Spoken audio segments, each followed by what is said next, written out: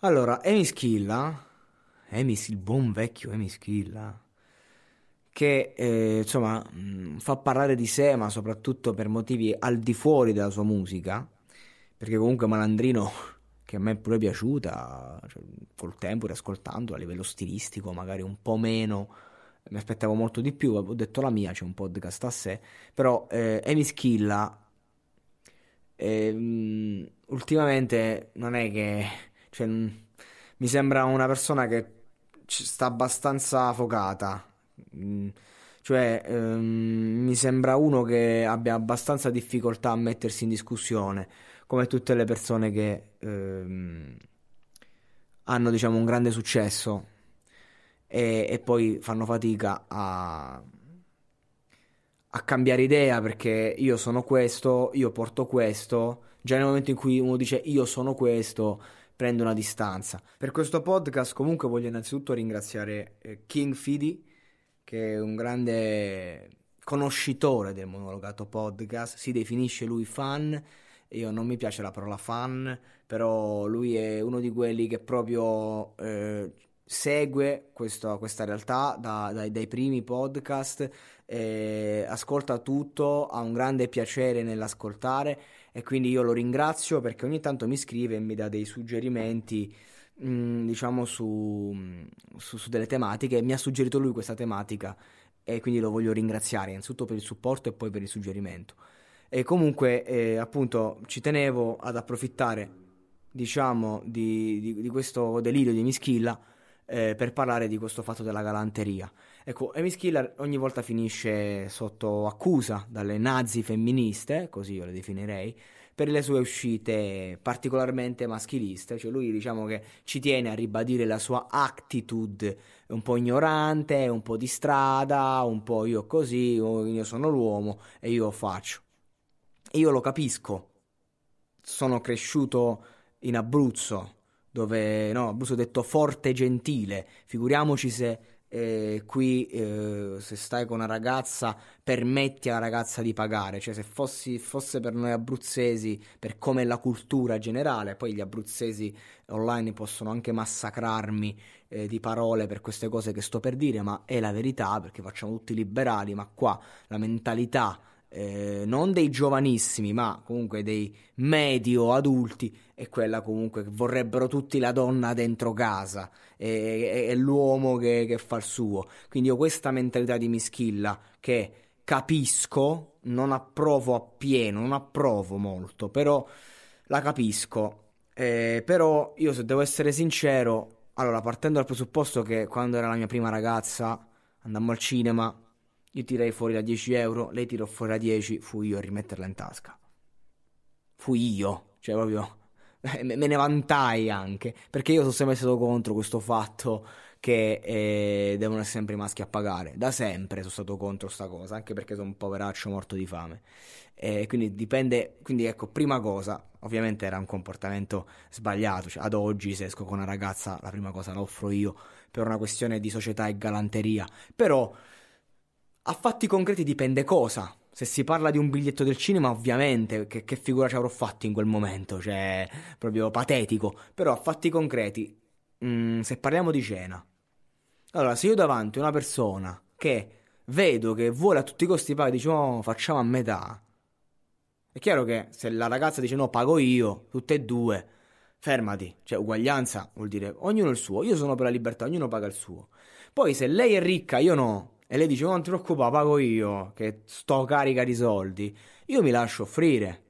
Se sono in un momento in cui dei soldi ce li ho, allora sono io che faccio: No, no, aspetta, dammi la possibilità di offrirti almeno stavolta. Poi dalla prossima volta facciamo a metà, senza problemi.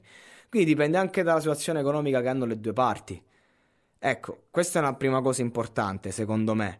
Poi, ecco, eh, dipende da varie circostanze. C'è la ragazza magari che la vedi che che, che, vuole farsi offrire, che ti guarda come a di guarda che se non me la offri la cena per me non sei un uomo. Cioè, mm, tu lo percepisci, sono cose che si percepiscono.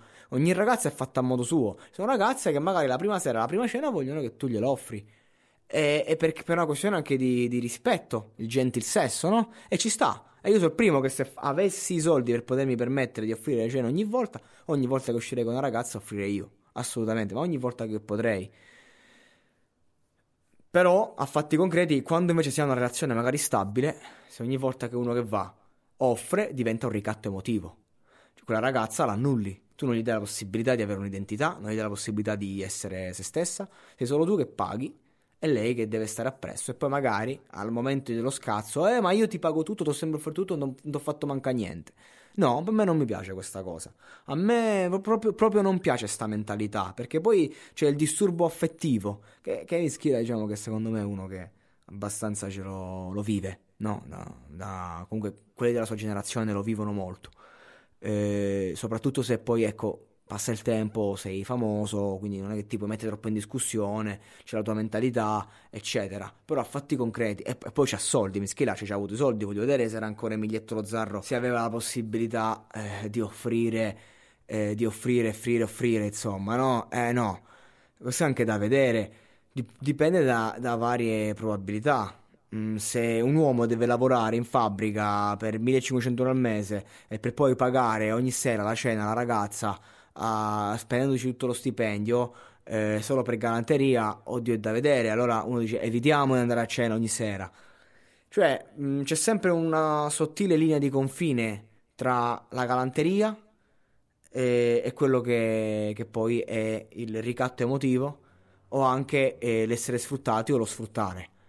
Sono tante le cose. Io credo che bisogna comunicare semplicemente, cioè cercare di capire eh, di primo acchitto e poi col tempo comunicare e, ehm, e ognuno avere i suoi spazi. Cioè io non sono uno che se si dovesse sposare andrebbe a fare la comunione dei beni. Uno perché ho le esperienze familiari interne che ti fa capire come funziona. Eh, ci sono tante cose che magari non vanno quando si sta sempre a, a fare tutto insieme. Il noi, noi, noi siamo io e tu.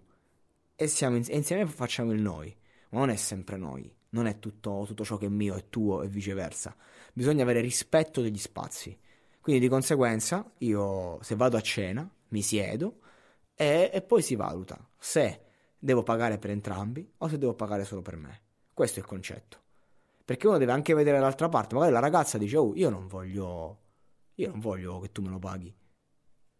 Eh no, no, te lo pago io. Io non voglio che tu me lo paghi. E eh, là che fai? Ci finisce a litigare. È chiaro che poi il povero Mischilla finisce nel ciclone a causa anche di ste cazzo di nazi femministe che sono esagerate. Cioè, se tu dici io, ti, io però lo capisco, dici io, la cena la pago io. Ok, tua mentalità, una ragazza che sta con Mischilla sa che Mischilla ti pagherà la cena. Punto. Eh, eh, capito? Non è che possiamo sollevare un polverone e Mischilla sei un maschilista. E Mischilla sei un po' la vecchia maniera. Ha fatto pure la canzone e ci sta. Non è che for- non è che per forza moderno è giusto. Cioè, eh, una ragazza che vuole avere la sua indipendenza mentale, affettiva ed economica non si fidanza con Mischilla. Questo è, che poi questo è relativo perché le coppie si massacrano sempre l'uno con l'altra, eh, si dicono sempre le parole, non si vanno mai bene razionalmente, ma poi stanno sempre insieme magari per motivi di chimica. Quindi ecco, anzi, spesso e volentieri la psicologia ci insegna che si sta insieme a una persona per colmare una mancanza, quindi ti vai a prendere proprio quello lì che è, è il contrario, tu vuoi essere libera, prendi uno che ti schiavizza perché vuoi, puoi lottare per la libertà, perché comunque la vita è questo, è anche un cercare di non annoiarsi e con queste battaglie noi non ci annoiamo, ecco. Eh, l'amore conta, conosci un altro modo per eludere la morte, diceva eh, il buon Liga. Questo è quanto, quindi raga, io dico siate voi stessi, non abbiate paura di comunicare e se quando ti siedi al tavolo, se tu la pensi in un modo, ma ti comporti in un altro per far colpo su una ragazza, non lo so se è la ragazza giusta per te. Cerchiamo di capire chi siamo, cosa vogliamo. Eh, perché è una ragazza che d'altro canto ti lascia perché non gli paghi il conto, mi domando che ragazza sia.